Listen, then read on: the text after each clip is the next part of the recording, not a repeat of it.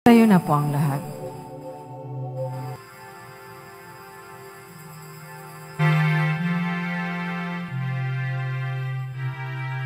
Papuri sa kaitaasan, siya'y papurihan, Diyos ng lahat o papuri. Sa kaitaasan, siya'y papurihan, ngayon at magpakailanman. Umawi ang daigdigan, lahat ng naroroon. Umawit ang sangkatauhan, purihin ang Panginoon. Papuri sa kaitaasan, siya'y papurihan, Diyos ng lahat o papuri. Sa kaitaasan, siya'y papurihan, ngayon at magpakailanman. Sa ngalan ng Ama at ng Anak at ng Espiritu Santo, Amen. ang pagpapala ng ating Panginoong Kristo, ang pag-ibig ng Diyos Ama, at ang pagkikipagkaisa ng Espiritu Santo na way sumainyong lahat. At sumairin. Ang ating banal na pagdiriwang paggunita kay San Bonifacio, martir, kinikilala siya bilang apostol ng Alemanya. Alemanya, Germany. Gayon din, naghahanda po tayo sa nalalapit na dakilang kapistahan ng kamahal-mahalang puso ni Jesus. Nasa ikawalong pagnonibinaryong misa po tayo. Miyerkules, umaasa tayo sa patnubay ng ina ng laging saklolo. At ngayon din, unang Miyerkules, nawa si San Jose alagaan ng ating mga pamilya kung ano ang mga pangangailangan natin ukol sa pera, tulungan tayo at proteksyon para sa mga mahal natin sa buhay. Mga kapatid, aminin po natin ang ating mga kasalanan upang tayo maging marapat gumanap sa banal na pagdiriwang. Inaamin ko Sa makapangyarihang Diyos at sa inyo mga kapatid, nalubha akong nagkasala sa isip, sa salita at sa gawa at sa aking pagkukulang. Kaya isinasamo ko sa mahal na Birhing Maria, sa lahat ng mga anghel at mga banal at sa inyo mga kapatid na ako'y ipanalangin sa Panginoong ating Diyos. kaawan tayo ng makapangyarihan Diyos, patawarin tayo sa mga kasalanan at patnubayan tayo sa buhay na walang hanggan. Amen. Panginoon, kaawaan mo kami. Panginoon, kaawaan mo kami. Kristo, kaawaan mo kami. Kristo, kaawaan mo kami. Panginoon, kaawaan mo kami.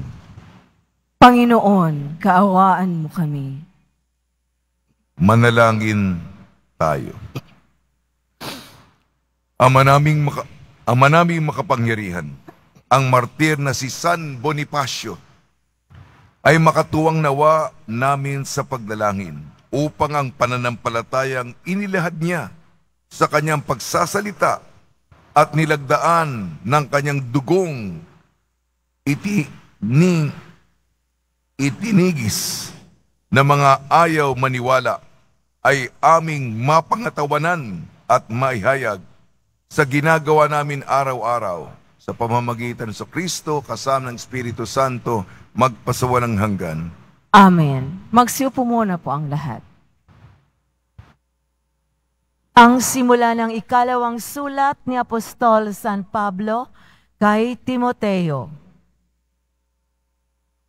Mula kay Pablo, na niloob ng Diyos na maging apostol ni Kristo Jesus upang mangaral tungkol sa buhay na, na ipinangakong kakamtan natin kay Kristo Jesus.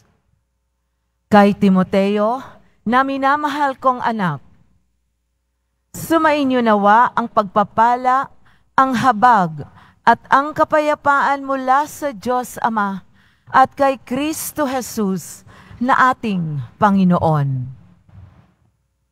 Nagpapasalamat ako sa Diyos na pinaglilingkuran ko ng tapat tulad ng ginawa ng aking mga ninuno tuwing aalalahanin kita sa aking mga panalangin araw-gabi. Dahil dito, ipinaaalala ko sa iyo na maging masigasig ka sa pagtupad sa tungkuling tinanggap mo sa Diyos nang ipatong ko ang aking mga kamay sa ulo mo. Sapagkat hindi espiritu ng kaduwagan ang ibinigay sa atin ng Diyos, kundi espiritu ng kapangyarihan, pag-ibig, at pagpipigil sa sarili. Kaya't huwag mong ikahiya ang pagpapatotoo tungkol sa Panginoon o ang aking pagkabilanggo dahil sa Kanya. Sa halip, makihati ka sa kahirapan dahil sa mabuting balita. Sa tulong ng Diyos na nagligtas at tumawag sa atin upang tayo'y maging Kanyang bayan. Ito'y ginawa niya sa pamamagitan ni Kristo Jesus, hindi dahil sa ating mga gawa, kundi ayon sa kanyang layunin at kagandahan loob na inilaan sa atin bago pa magsimula ang panahon. Ngunit nahayag lamang ito nang dumating si Kristo Jesus na ating tagapagligtas. Nilupig niya ang kamatayan at inihayag ang buhay na walang hanggan sa pamamagitan ng mabuting balita. Ako'y ginawang apostol at guro upang ipahayag ang mabuting balitang ito. At iyan ang dahilan kaya ako nagdurusa ng ganito. Gayon may, hindi ko kinahihiya ang nangyayaring ito sa akin sapagat lubos kong nakikilala ang aking pinananaligan at natitiyak kong maiingatan niyang hanggang sa muhuling araw nang ipinagkatiwala ko sa Kanya. Ang salita ng Diyos. Salamat sa Diyos. Matakoy nakatoon sa iyo lamang, Panginoon. Ang mata ko'y nakataon sa iyo lamang, Panginoon. Ang aking pagmasid doon nakapukol sa luklukang trono mo, O Panginoon. Tulad ko'y alipin ang inaasahan ay ang amo niya para matulungan. Ang mata ko'y nakatuon sa iyo lamang, Panginoon. Kaya walang humpay ang aming tiwala hanggang ikaw poon sa aming maawa. Ang mata ko'y nakatuon sa iyo lamang, Panginoon. Magsitayo na po ang lahat.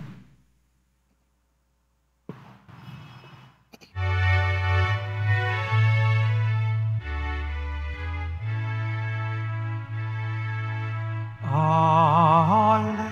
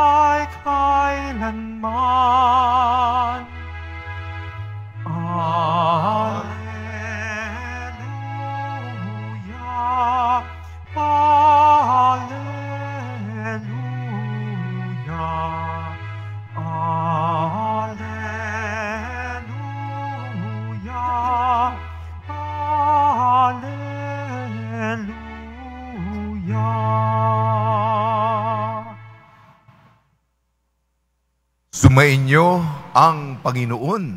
At sumairing Ang mabuting balita ng Panginoon ayon kay San Marcos. papuri sa iyo, Panginoon. Noong panong iyon, may ilang saduseyo na lumapit kay Jesus.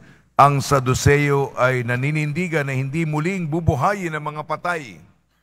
Guro, anila, naglagda po si Moises ng ganitong batas para sa amin.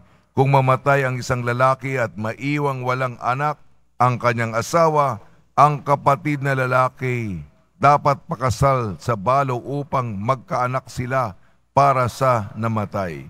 May pitong magkakapatid na lalaki, nag-asawa ang panganay at namatay na walang anak. Napakasal ang balo sa pangalawa at namatay na wala ring anak. Gayon din ang nangyari sa pangatlo at sa mga sumunod na sumunod pa. Isa-isang napangasawa ng babae ang pitong magkakapatid at sila'y namatay na walang anak.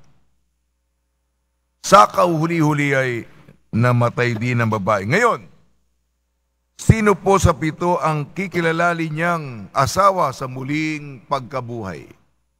Yamang napangasawa niya silang lahat. Sumagot si Jesus, Maling, mali kayo. Alam ninyo kung bakit hindi ninyo nababatid ang mga kasulatan ni ang kapangyarihan ng Diyos sapagkat sa muling pagkabuhay ang mga tao'y hindi na mag-aasawa. Sila'y magiging tulad ng mga anghel sa langit. Tungkol naman sa muling pagkabuhay, hindi ba ninyo nababasa sa aklat ni Moises ang tungkol sa nagliliyab na mababang punong kahoy?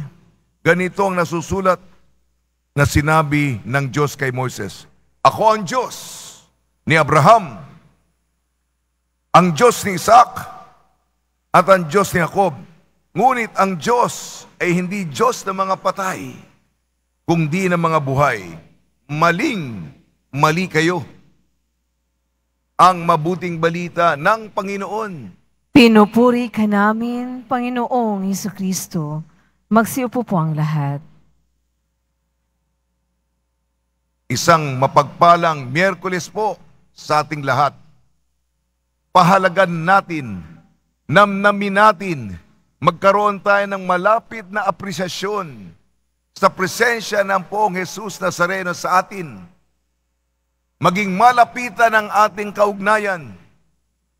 Ako po, pinapahalagan ko po ito sapagkat sa susunod na buwan, ay babalik na ako sa aking malayong misyon. Kaisa ko po kayo sa pamamagitan misang online at sa maliit kong cellphone. Ah, yun.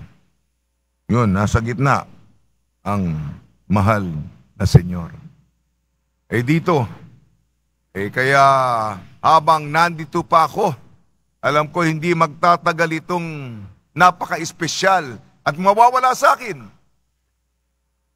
Ako po'y nagpapasalamat. Ako po'y maraming hinihiling.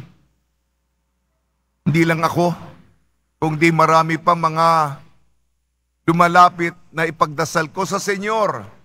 At marami naman ang natutupad. Ako'y natutuwa. Sabi ko, buti pa sila. Ah, ah, okay. Natutuwa ako. Ah, natutuwa ako. Na yung kanilang mga problemang mabibigat. Nagdadasal ako sa Nazareno. Eh, wala na.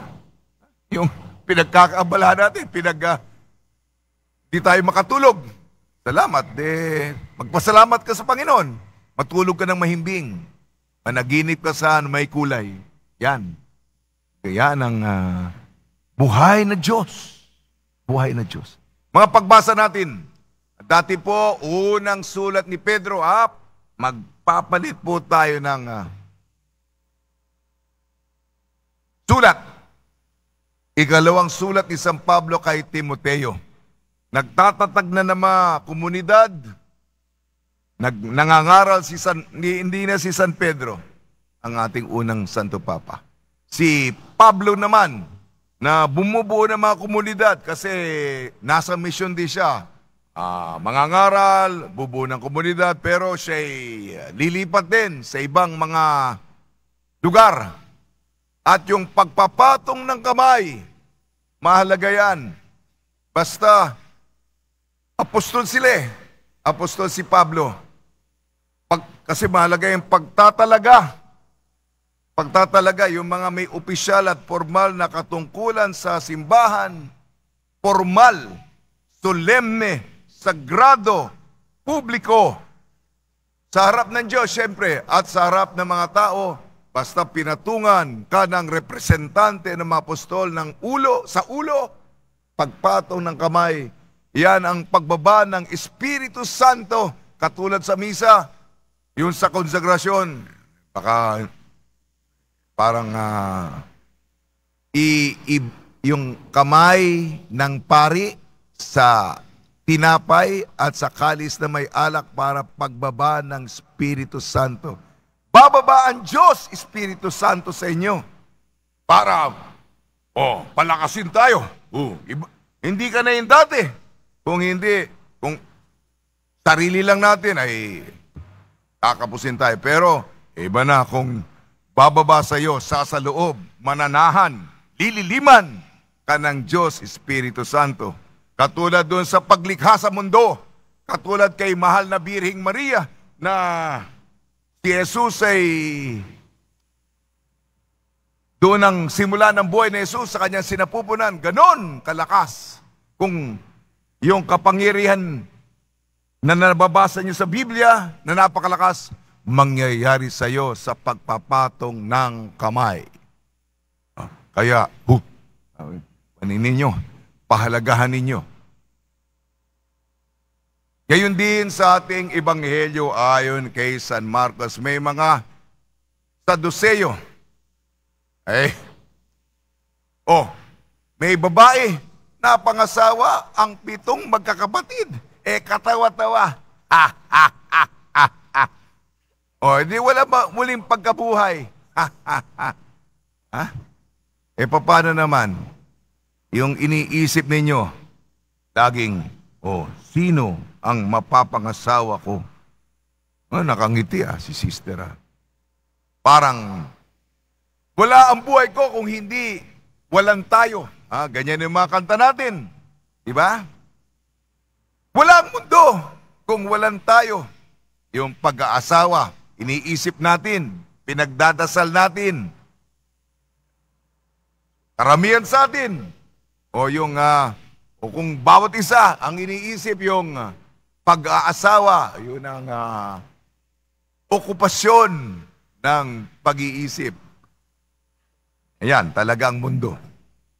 Pag-aasawa. Pero anong anong sabi? Ganyan ba sa kabila? Hindi po. Hindi po. Ibang-iba po. Sa kabila, kung magkikita-kita tayo, wala na pong prokreasyon. Wala na pong mag-aasawa. Tayo po'y magkakapatid. Ang wala na yung, oh, ito si asawa nito. Wala na po yun. Wala na pong distinction yun. Magkakapatid tayo sa iisang ama at ang buhay natin katulad ng mga anghel. Okay. Kailangan marunong na kayong kumanta. Yung mga anghel, ah, awit ng mga anghel. Eh sabi dito, di ba? Hindi na mag-asawa sila ay magiging tulad ng mga anghel sa langit. Kaya mag-practice na po tayo. Mag-practice na po tayong umawit. Ha? Pagandahin niyo yung boses ninyo. Ha? Yun, ibig sabihin, yung mga anghel ay magaling umawit. At isa pa, para Sagutin ang mga Saduseyong hindi naniniwala kasi pinapinakasentro ng ating pananampalataya. Si Kristo'y muling nabuhay, nagtagumpay, panalo, tinalo ang kasalanan at kamatayan. Di nyo ba nababasa? Ang Diyos ay Diyos ni Abraham, Diyos ni Isaac, Diyos ni Jacob. Siya'y Diyos ng mga buhay. Buhay si Abraham. Di ba sinasabi, Father Abraham, amang si Abraham, buhay. Ah, buhay, may mga kwento. Oh, lalapit sa iyo si Tatay Abraham. Hindi patay si Abraham, kung hindi buhay. Sa makatwid, may muling pagkabuhay. Maling, mali kayo. Yan lang po ating ah, ating pagninilay. Kaya ituon natin, mga kapatid, ang ating atensyon sa kabila, sa buhay na walang hanggan. Sa tulong ni Maria, Miyerkules, ina ng laging saklolo. At ni San Jose, unang Miyerkules ngayon, at ang santo para sa araw na ito, San Bonifacio Martir, apostol sa Alemanya, nawa po, hanapin natin, sikapin natin na mapalapit sa kala, kalangitan, sa kaharian ng ating nuestro, Padre, Jesus Nazareno. Amen.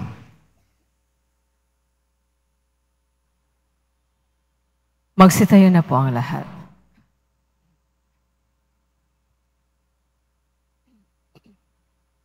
Minamahal ko mga kapatid, napakamalwalhati ng kapayapaan at pag-asa ng muling pagkabuhay.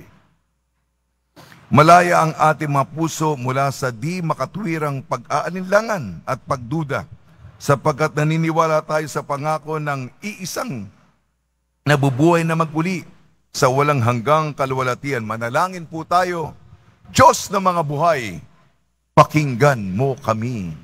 Diyos ng mga buhay, pakinggan mo kami. ang simbahan naway patuloy na magpahayag ng mabuting balita ng muling pagkabuhay at ng buhay na darating. Manalangin tayo. Diyos ng buhay, pakinggan mo kami. Sa ating pang-araw-araw na buhay, tayo naway makapaghatid ng liwanag ng pag-asa sa mga nabubuhay sa kadiliman at kawalan ng pag-asa. Manalangin tayo. Diyos ng mga buhay, pakinggan mo kami. ang mga Kristiyano, saan man naway maging mga taong legalismo at mga panlabas na tumutupad sa batas, kundi maging mga taong mayroong pusong ginagawa ang nararapat nilang gawin bilang mga anak ng Diyos. Manalangin tayo. Diyos ng mga buhay, pakinggan mo kami. ang mga may sakit, naway matagpuan ang mapagpagaling na presensya ni Kristo sa kanilang buhay. Manalangin tayo. Diyos ng mga buhay, pakinggan mo kami. Sa ating mga pananalangin para sa yumao at para sa mga nagluluksa para sa kanilang paglisan, naway magdulot sa kanila ng pag-asa at kasiyahan sa kanilang pinagpaghihinagpis ang muling pagkabuhay ni Kristo. Manalangin tayo. Diyos ng mga buhay, pakinggan mo kami. Diyos ni Abraham, Diyos ni Isaac, Diyos ni Jacob, Diyos ng mga buhay at bukal ng buhay at ang lahat ng pag-iral, pakinggan mo ang aming mga panalangin na itinataas namin sa iyo sa pamamagitan ni Kristong aming Panginoon. Amen. Magsiupo po ang lahat.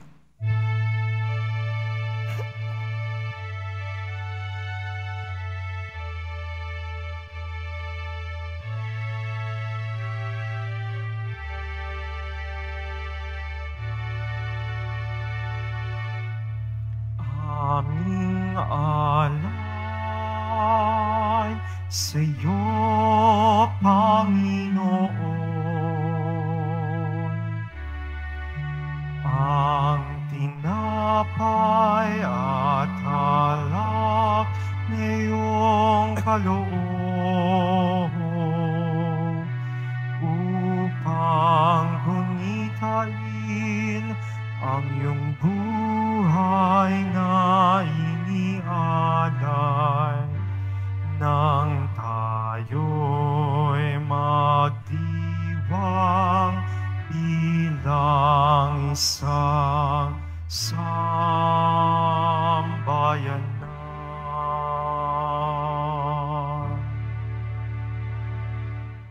Magsitayo na po ang lahat. Manalangin kayo mga kapatid upang ang ating paghahain ay kalugdan ng Diyos amang makapangyarihan. Tanggapin nawa ng Panginoon itong paghahain sa iyong mga kamay, sa kapurihan niya at karangalan, sa ating kapakinabangan at sa buong sambayanan niyang banal. Ama namin lumikha ngayong ginugunita ang martir na si San Bonifacio. Tanggapin mo ang ipinagdiriwang ng paghahain ng tipan at dangal sa kapagpapatawad ng aming mga kasalanan at sa pagtanaw ng utang na loob namin kailanman sa pamamagitan sa Kristo kasama ng Espiritu Santo magpasawalang hanggan. Amen. Sumainyo ang Panginoon. At sumaiyon, Itaas sa Diyos ang iyong puso at diwa.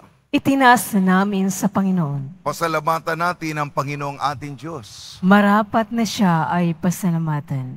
Ama namin makapangyarihan, tunay nga marapat na ikaw ay aming pasalamatan. Ngayong aming kagalakan na si San Bonifacio ay parangalan. Siya'y kapanalig naming may paninindigan na ikaw ay ipahayag kahit siya'y mamatay.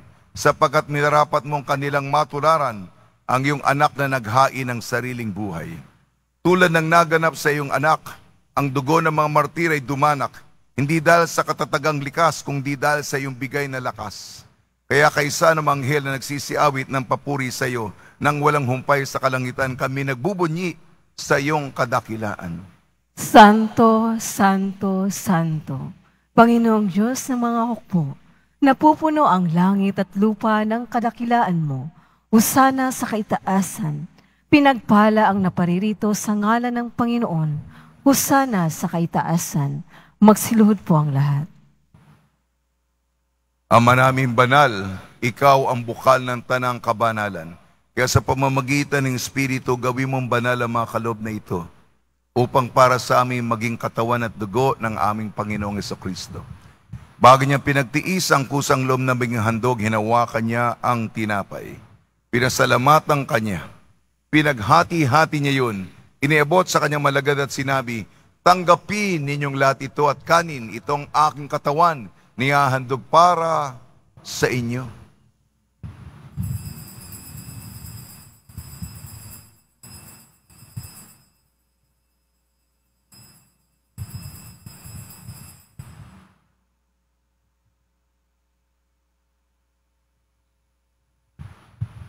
Gayun din naman nung matapos ang hapunan, hinawakan niya ang kalis, muli kanyang pinasalamatan, inebot niya ang kalis sa kanyang malagad at sinabi, Tanggapin ninyong lahat ito at inumin, ito ang kalis ng aking dugo, ng bago at walang hanggan tipan.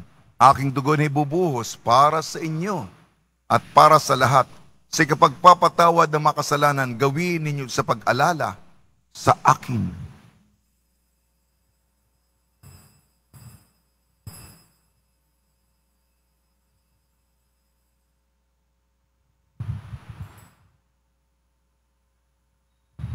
Magsitayo na po ang lahat. Ipagbunyi natin ang misteryo ng pananampalataya. Si Kristo'y namatay, si Kristo'y nabuhay, si Kristo'y babalik sa wakas ng panahon. Ama, ginagawa namin ngayon ang pag-alala sa pagkamatay at muling pagkabuhay ng iyong anak. At iniali namin sa iyong tinapay na nagbibigay buhay at ang kalis na nagkakaloob ng kaligtasan. Kami nagpapasalamat dahil kaming minarapat na tumayo sa harap mo para maglingkod sa iyo. Isinasama namin kami magsasalo-salo sa katawan at dugo ni Kristo ay mabuklod sa pagkakaisa sa pamamagitan ng Espiritu Santo. Ama, tingapi mo yung simbahang laganap sa buong daigdig. Puspusin mo kami sa pag-ibig kaysa ni Francisco na aming Papa at ni Jose na aming Obispo at ng Tanang Kaparian. Alalahanin mo rin ang mga kapatid namin na himlay na may pag-asang sila'y muling mabubuhay Gayun din ang lahat mapumanaw, kaawan mo sila at patuloyin sa iyong kaliwanagan.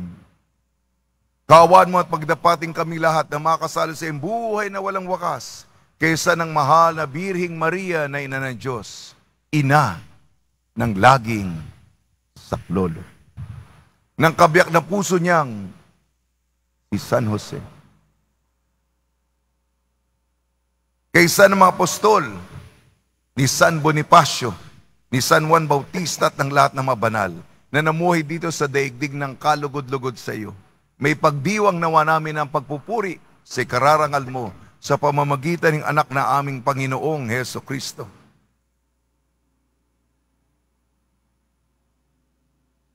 Sa pamamagitan ni Kristo kasama niya at sa Kanya, ang lahat ng parangal at papuri ay sa iyo.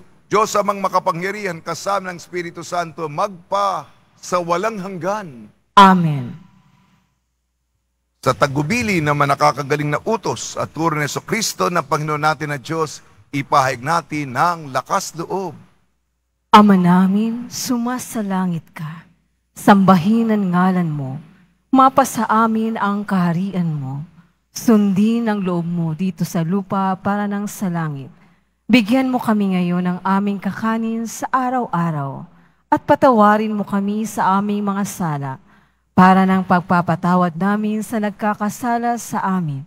At huwag mo kaming ipahintulot sa tukso at iadya mo kami sa lahat ng masama. Iniling namin kami i-adjust sa lahat ng masama. Pagkalooban ng kapayapaan, araw-araw iligtas sa kasalanan at ilayo sa lahat ng kapahamakan. Samantalang aming pinananabikan ang dakilang araw ng pagpapahayag ng tagapagligtas naming Seso Kristo. Sapagkat iyo ang kaharian at ang kapangyarihan at ang kapurihan magpakailanman. Amen. Panginoon sa Kristo, sinabi mo sa mga apostol, kapayapaan ang iniiwan ko sa inyo, ang aking kapayapaan ang ibinibigay ko sa inyo. Tungyan mo ang aming pananampalataya at huwag ang aming mga pagkakasala. At pagkalooban mo kami ng kapayapaan at pagkakaisa, ayon sa iyong kalooban, kasama ng Espiritu Santo magpasawalang hanggan. Amen. Mga kapatid, mga kaibigan, sumunyo po ang kapayapaan ng ating Panginoon. At sumayo rin. Magbigayan po tayo ng kapayapaan sa isa't isa.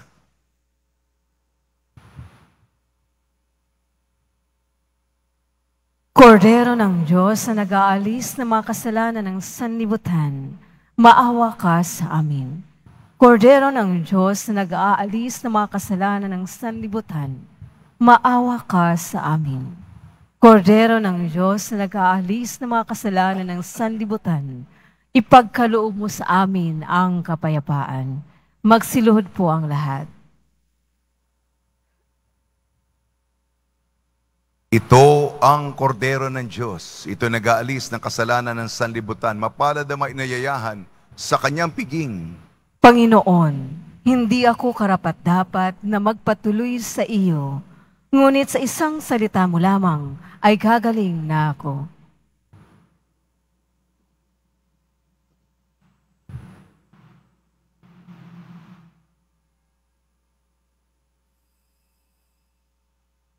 Para sa lahat na tatanggap ng banal na komunyon, sasagot po tayo ng amin pagkasabi ng pare o ng liminister ng katawan ni Kristo at isubo agad sa bibig bago umalis sa harapan ng pare ng liminister. Sumunod po tayo.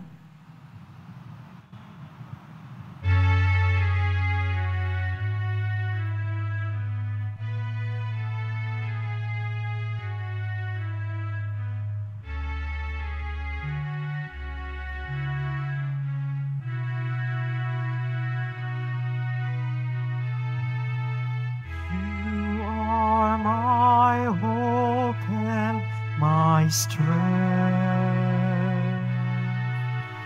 You guide me and embrace me with your love. You gave your life to save me from sin. Jesus, my Savior, my Lord. I will proclaim that you are my God, the God of mercy and the giver of life. I will submit my life to to serve you with all of my heart. You are my hope and my strength. You guide me and embrace embrace me with your love.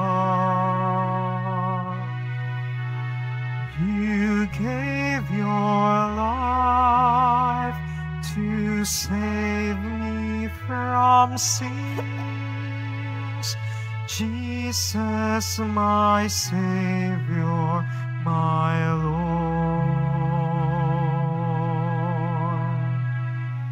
Jesus, my Savior, my Lord.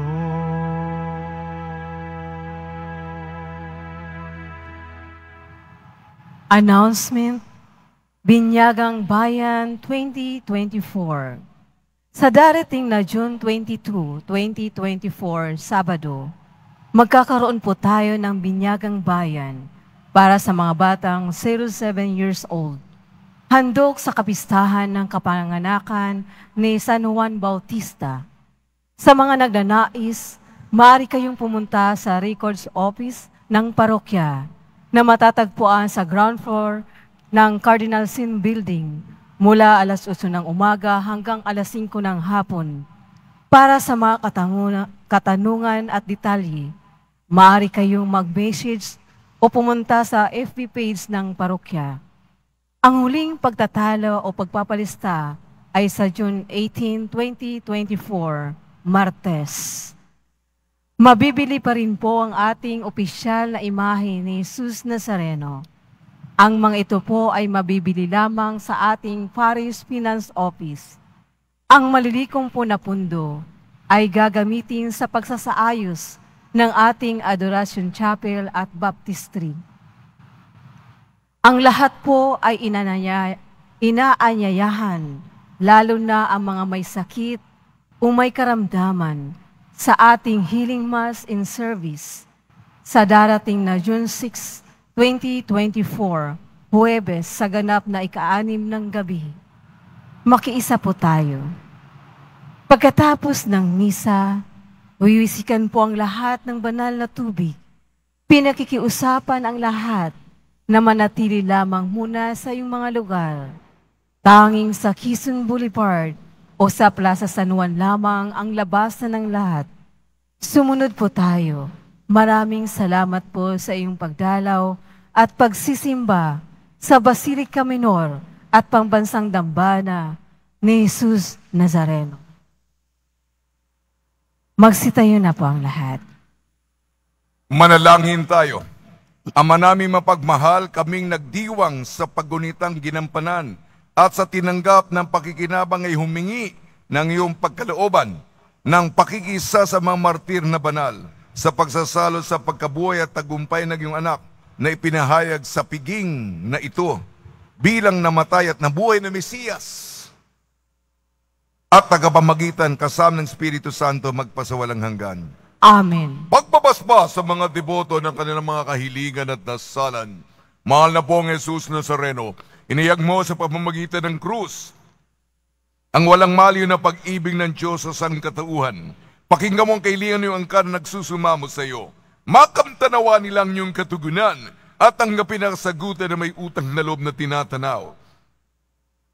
Basbasan din po ninyo mga daladala nila mga imahin at dasalan sa pamamagitan ng bendisyon nito na may maalala nila mga pangawal sa binyag na kauibigin at paglilingkuran bilang Panginoon magpa sa walang hanggan. Amen. Bago po ang huling pagbabasbas, hinihiling ko po ang inyong taimtim na dasal para sa komunidad na ipinagkatiwala sa akin sa misyon. Ito po sa malayong malayong lugar, liblib na misyon, ang temperatura doon, minus 40, minus 50, mga kapatid. Sobrang lamig. Ito, sobrang init. Ito po ay ang St. Mary's Catholic Church, Dawson City, Yukon, Canada. At ipinagdadasal ko po ang sampung taong anyos na may malubhang karamdaman si Kirion Kai Verdeflor. Sana gumaling siya. Gayon din, sila din ay nagdadasal. Sila po'y nasa Canada. Pero may mga kamag-anak dito sa Pilipinas na pumanaw. Eh, alam niyo naman ang kondisyon. Sila ay nag-iipon sa malayo. At uh, May mga namatayan silang dito sa bansa natin na na mahalaga sa kanila ang kapayapaan ng mga kaluluwang mga yumao. Gayun din, may mga kasama ako doon na apektado ng pagsabog ng bulkang Kanlaon sa Negros. Marami pong mga taga Negros ang ah, nasa Dawson City, Canada at ang alalang-alala sila sa kapakanan. Ano kaya nangyayari sa mga mahal ko sa buhay na naiwan sa Pilipinas sa pagsabog ng bulkan? Isama niyo po sila sa inyong mga panalangin. Sumainyo ang Panginoon At sumainig. at pagpalain kayo ng makapangyarihan Diyos, Ama, Anak at Espiritu Santo. Amen. Taglayin ninyo sa inyong pagalis ang kapayapaan ni Heso Kristo. Salamat sa Diyos.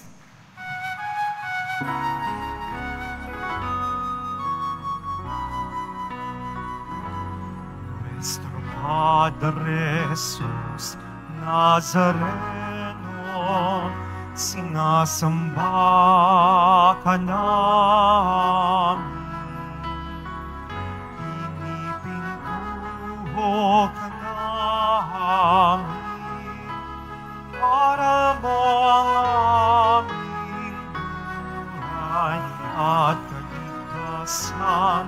Cristo Padre Jesus Nazareno, iligtas mo kami sa kasalanan.